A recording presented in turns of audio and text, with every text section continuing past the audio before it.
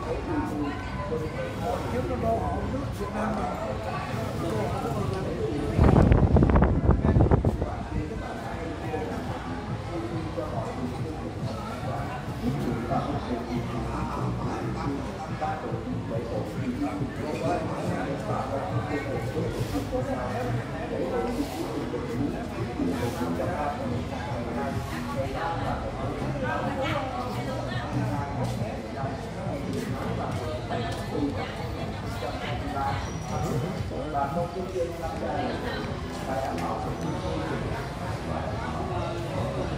you.